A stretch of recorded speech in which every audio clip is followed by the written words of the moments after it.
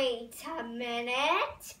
Do I see one of my friends here watching me be doing this strange little dance? Well, then hello little club viewers. This is Eva. Welcome back or welcome to. Today I'll be doing a, a very exercising dance called Blow the Blow the Wind.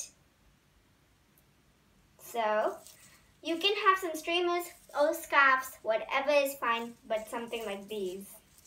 So let's get started.